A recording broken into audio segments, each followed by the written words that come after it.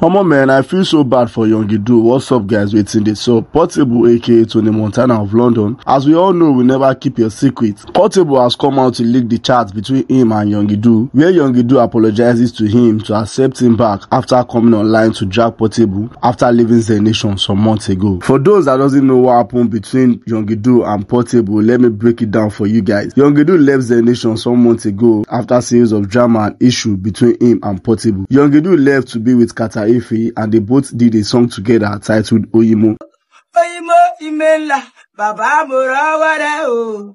Inú ayé mi o, mo rí iṣẹ́ ọwọ́ rẹ̀ o. After so many back and forth between Youngidu and Kata Efe over the money made from the song Oyimo, Kata Efe has now deleted the song from all platforms and they both part ways again. You can see what is going on. Come and come and check on this thing.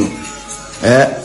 I'm the one that have song go. I'm the one that sing song go. I'm the one that I'm the, I'm the one that God give the plans. Oh. God give me the gift. Oh. See now they rip me. Someone I've been getting. Someone I've be, I've becoming the owner of my song now.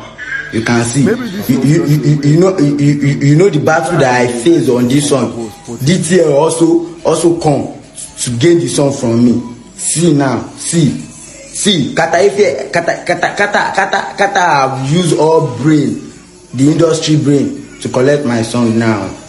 Even last month, Young Duu went to Portable's birthday party that was celebrated at his bar, Odogwu Bar. Young Duu, who has now gathered courage to chat his boss Portable, but unfortunately, Portable has now leaked the chat. And in this chat, Young Duu could be seen expressing his regret for his past behavior and action towards his former boss Portable and sincerely apologized. But Portable has refused to accept his apology and claims after Young Duu has been used, he wants to come back to him. This is the chat between Young Duu and Portable leaked by Portable. Do you think Portable should accept Young Duu back to his record label? Or you think it's because how things has been going well for Portable in the recent time, that is why Young Duu is trying to come back to Portable? Let me know your opinion in the comment section and don't forget to subscribe and turn on your notification bell so you get notified anytime I drop a new video on celebrity gossip